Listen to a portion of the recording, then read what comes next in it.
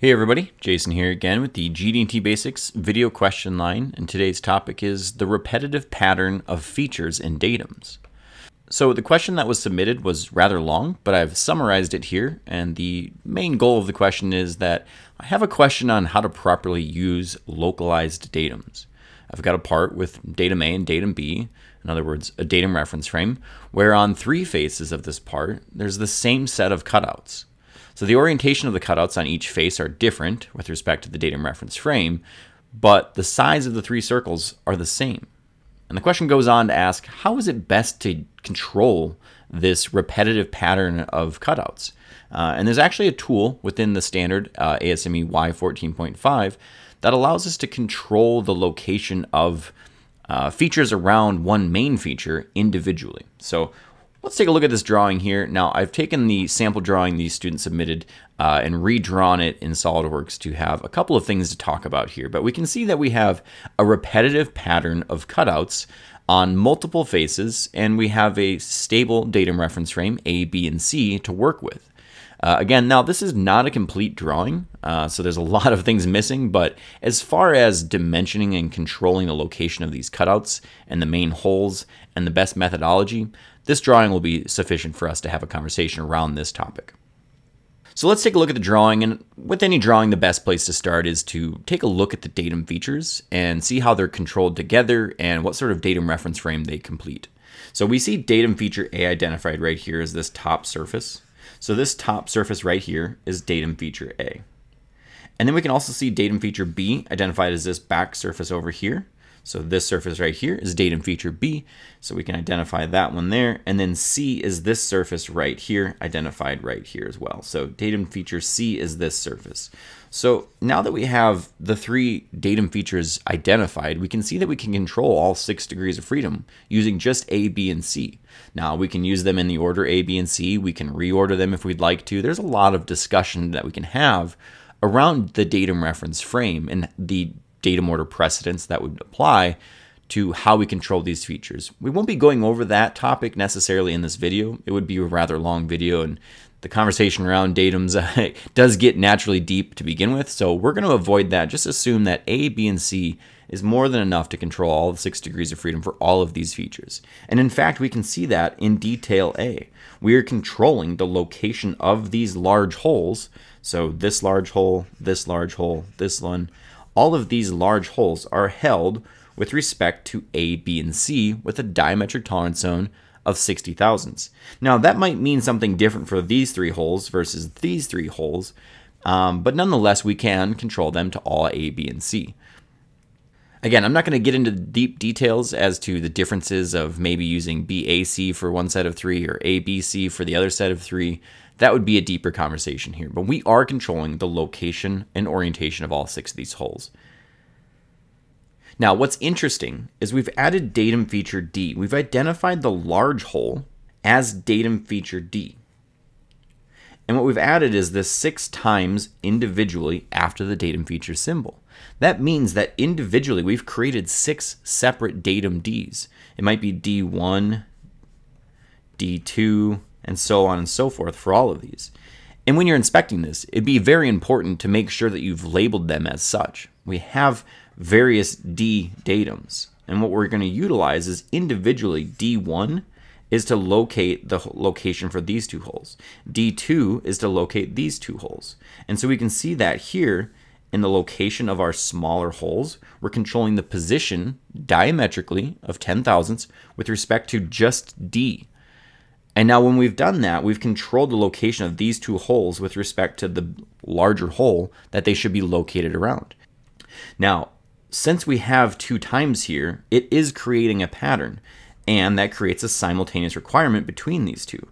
So while this doesn't clock the two holes with respect to this circle, it does control the location of each hole 180 degrees from each other as a pattern.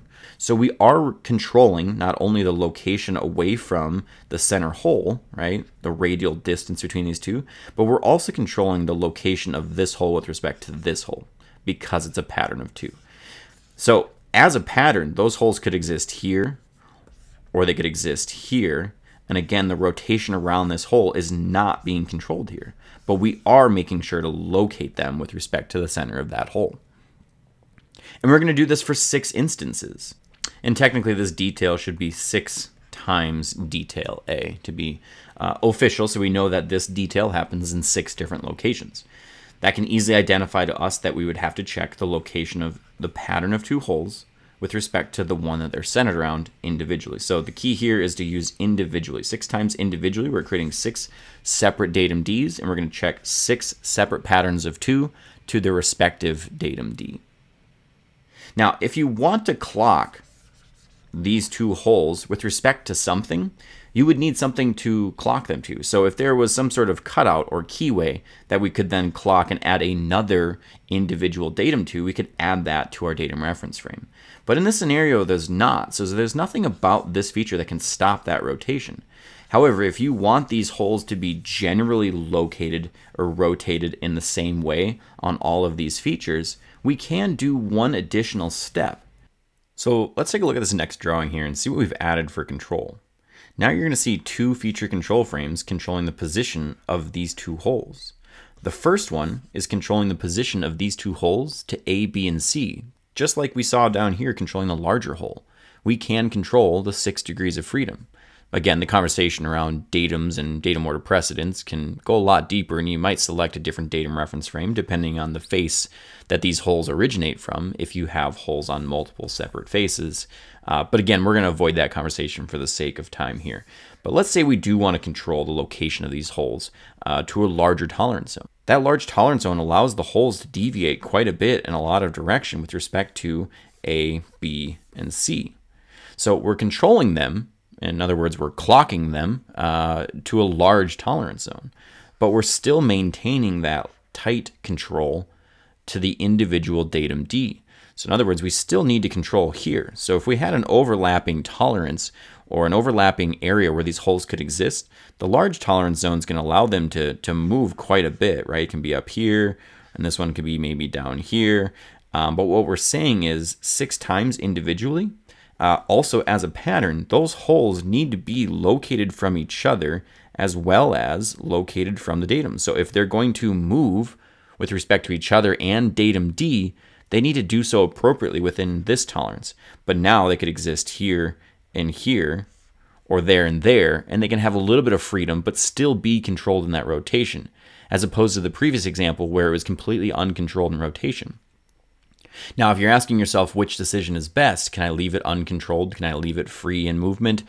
The decision is up to you as a designer. If you can allow these holes to exist like this, and then maybe these twins, two ones to exist over here, or you trust your manufacturing department that they're going to uh, laser cut this or water jet this, and close enough is good enough for you, right? No one has to check the orientation of these two holes with respect to the larger part, as much as you're just more concerned that the location of these two holes with respect to the individual datums that you've identified here is the one that is the most important to make sure it's a functional pattern of holes.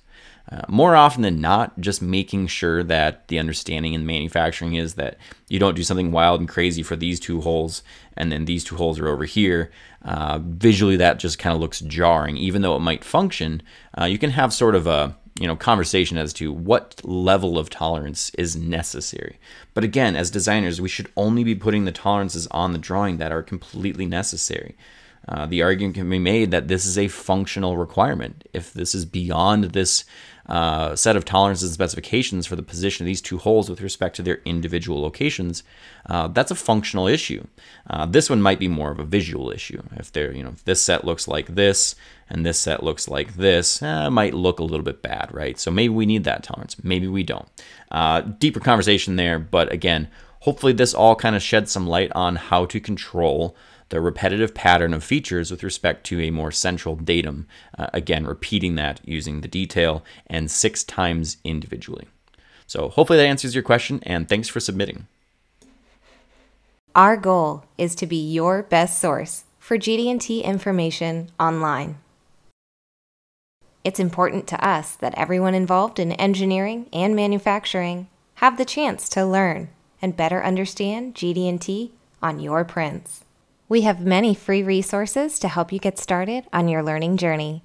Subscribe to our GD&T community using the link in the description below or visit our website.